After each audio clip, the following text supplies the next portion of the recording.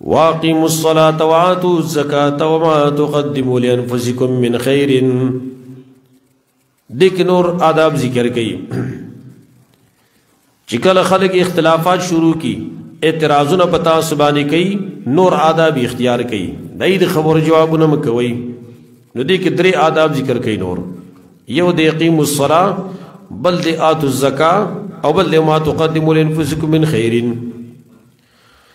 واقیم الصلاه پابندی کوي د مانزم وات الزکات اور کوي زکات د اشاره دی ته چې کله اختلافات شروع شي خلق پتا سو اعتراضونه کوي نګوره اعمال هغه پرې نه دی اعمالو ته توجه کوي دای فائدې به ډېری تسلیم انسان ته ملاويږي او د دې اعمالو دغه ثوابونه به ډېری لکه کله چې ګوره فتنه سیواشي قتل قتال سیواشي نو پارټیم کې عبادت هغه بیا ډیر زیات ثواب لري لکه حدیث صحیح کې راغلی دی العباده فی الحرج کهجرت الیه د فتنو په دور کې عبادت وي دومره ثواب لري لکه نبی و چې ماته هجرت کړی وي ځکه یې اقیم الصلات پابندی کوي د مانځو واتو زکات ورکوي زکات دا دوا دا شو دریم وما تقدموا لانفسکم من خیر اواج تاسو مخ کې لګي لانفسکم د پاره د پیدې د خپل ځانونو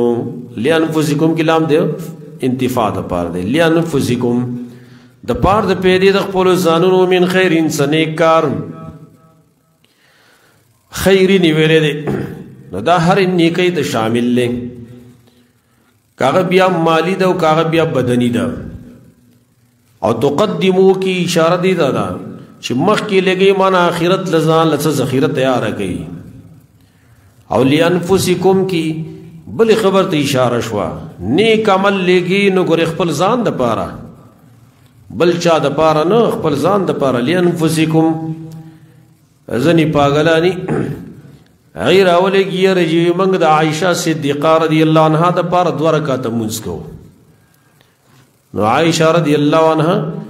اخو جنتی خزه ده هغه ستا دوه رکعاتو څخه محتاج ده ته ځان له دوه رکعاتو وکه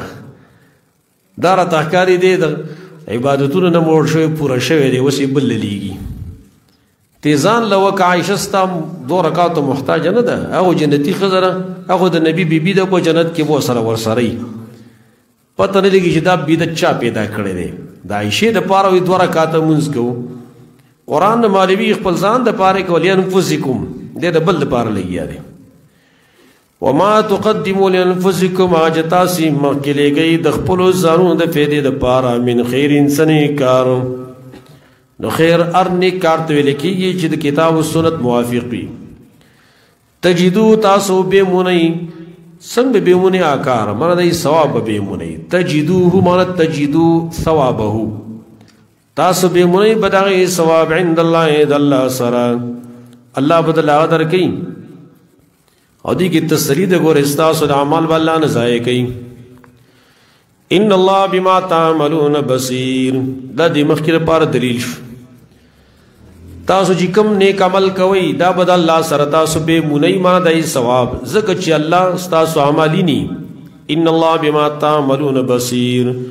یقینا الله په عمل چې تاسو کوئ لیدون کړي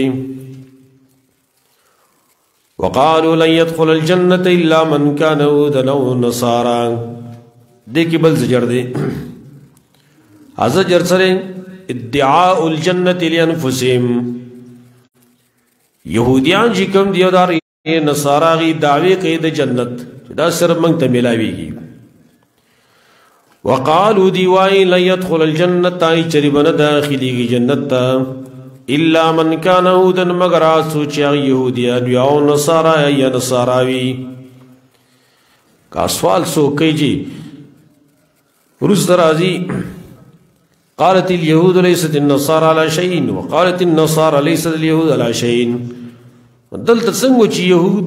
او نصارا وای چې جنت ته به يهوديان زیا به نصارا دي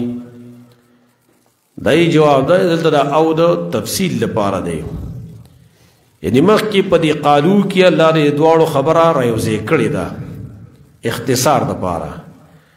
وقالو دی وای مان هر یو ځان لزان لوي دا نه چې ګنې يهود نو سارا او بارک دا قیده سادی چې دی بم جنت زینا نه ادي یو ځان لزان لوي لن يدخل الجنه چې چرې بنګ داخليږي جنت ته الا من كان هودا مگر سوچي يهوديان وي او نصارا يا نصارا وي او تفصيل لپارش یعنی يهوديان ځان له چې موږ جنت ته ځو نصارا وي موږ جنت ته ځو تلک امانیهم دا بی دلیل خبر یې دیو دی امانیه اصل کې ویل کېږي تمنا ته او ارزو ته ویل کېږي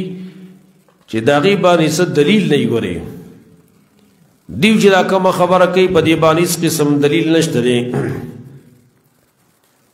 نو تلک امانیوم دا بی دلیل خبرې دیو دی یا دا معنی تلک امانیوم دا تشیار زوګانې دیو دی دا زړه تمنا نه دیو دا اصلي وای دا یو رد شي بدی باندې اوس بل رد به کوي قل هاتو برانکم او نبی راوړی مضبوط دلیل تاسو ان کنتم صادقین کچرته یو تاسو رښتینی په خپل دعوا کې ان کنتم صادقین فی دعواکم که تاسو رښتینی په دې خپل دعوه کې دلیل پیش کړئ کنه څه دلیل تاسو سره برهان جی کم دی برهان داغه دلیل ته ویل کېدل شي چې هغه قطعي او یقیني وي قطعي او یقیني دلیل وي منطقيان دې څه تعبیر کوي چې دې مقدمات دا د قطعیات نه مقدمات بالکل یقیني وي که صغرا کبرای او که مقدم تالی وي دا به د یقینیات نه مرکب وي دې ته ویل کېږي برهان اصل کې برهان چې د پاربۍ کې په معنا د ماتول باندې راځي برهانه برهانه ماتول ته ویل کېدلی شي د برهان ته برهان ځکه ویل کیږي چې دا د سي مضبوط دلیل وي چې په دې سره دعوه د خصم بالکل ماته شي اسم لا ولا ماته کی جواب نشي کولای ځکه ته برهان ویل کیږي قلوا نبی هاتو برانکم راوړی مضبوط دلیل تاسو قطع دلیل ان کنتم صادقین کچته وي تاسو رښتینی نو د برهان یو مصداق به قران کریم کې الله ذکر کړی دی سورۃ النساء کې 175 نمبر آیت کې سورۃ النساء 175 نمبر آیت کې یو مصداق ذکر دی چې هغه سره قران قجاکم برهان من ربکم برهان من ربکم هغه سره قران ان کنتم صادقین کجری وی تاسو رښتینی بلا من اسلم وجهه لله وهو محسن فله اجر عند ربه دې کې رد اوس په دې يهوديانو باندې بل طریقې سره رد دې په يهودو او دارنګي بیان دې د استحقاق الجنه چې د جنت مستحق څوک دی يهوديت نصرانيت دا نه نفس داوی نه راشي معیار وګوري دا غي د پاره بلا من اسلم دا سینه دا مخکې مونږ ویلو برازه کې استعمالي د مخکې کلام نفي درست اثبات وی لفظي معنا به ذکر بلا من اسلم بلکې چا چې تابع کوم وجهو خپل مخ لله خاص الله تا من اسلم وجهو چا چې تابع ک خپل مخ لله خاص الله تا ذکر د وجه د مراد تینا اقزات ته او دا وجه ذکر ذکر کړي چې دا یو اشرف عضو دا په انسان کې شریف زیره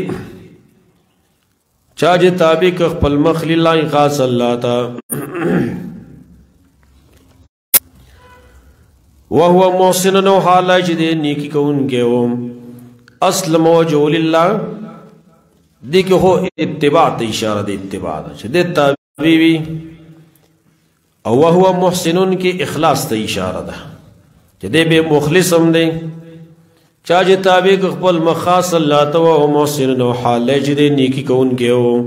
دې اخلاص پد کې موجود احسان ماده به کیوا فلو اجرو در پارا اجر د درې ثواب د دې اجرو من اجر عمله ثواب د عمل وو ته ملويږي عند ربي پنيز ضرب د دبانې د وجه دغه معناګانې روس ذکر کو خپل ځای کې ولله المشرق والمغرب ال ته د وجه معناګان بن به ذکر کو خدل تر وجه معنی سر ذات خپل ځان تابع کې الله ته ولا خوف عليهم نبير پدی باندې ولا هم يحزنون ولا بيدي غم جن دای فرق مخکې من ذکر کړو لا خوف عليهم ولا هم يحزنون